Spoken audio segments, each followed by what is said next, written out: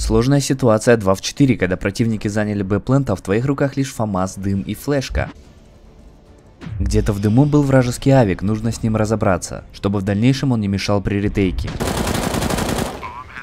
По рандоме в дым я оставляю достаточно патронов для одного фрага, нужно дождаться пока дым рассеется.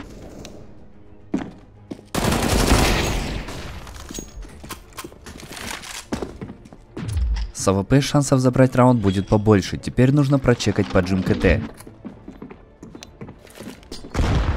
Чисто, но играть я буду с девятки, откинув флеш, чтобы у меня появилась возможность проверить позиции. Только девятка минус, де- минус 90.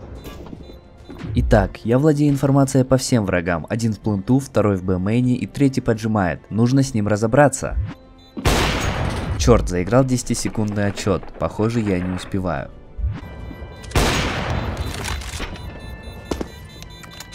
Я убил всех врагов, но, к сожалению, этого недостаточно, чтобы выиграть раунд. У меня нет китов, и это ГГ.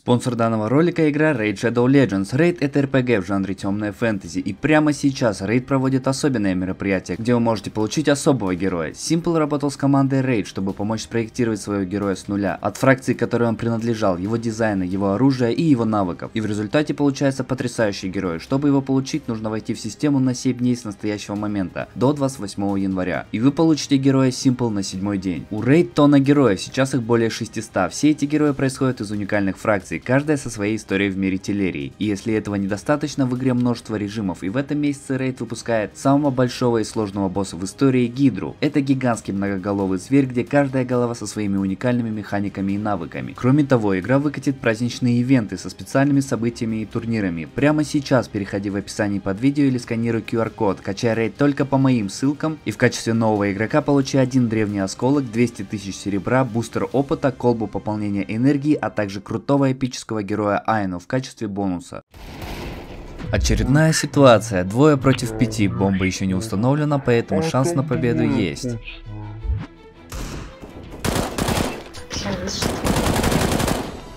Разобравшись с двумя на лонгу, я сразу же иду занимать его и также ожидаю врага на шарту. Ситуация стала 1 в 3.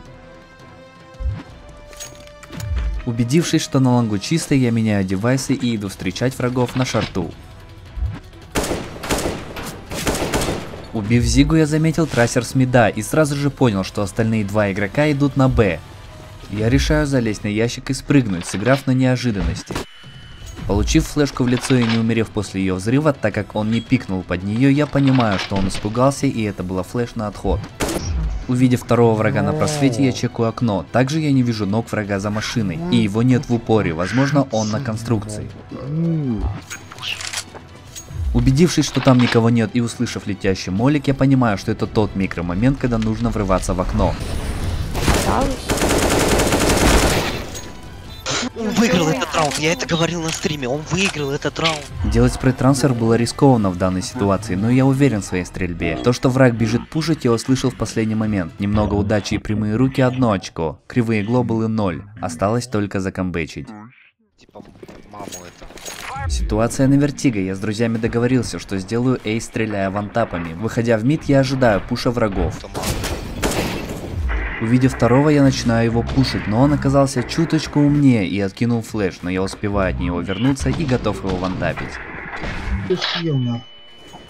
Блять, она я все флаги стелит. Так, похоже у нас с мистером Мускулом началась война за фраги. Так как я только что убил двоих игроков в миду, я уверен, что лишь один игрок остался на Б. Поэтому я решаю пойти на точку А, чтобы сделать хотя бы квадро, пока Мускул воюет один в один. Короткий раунд. Поделим. Черт, это был не вантап, ну хотя бы было красиво, и я как минимум не ошибся, что пошел на А. Думаю, последний будет на рампе. Рам рам рам Рампа, рампа, рампа. Стреляй в него. Хорош. Хорош.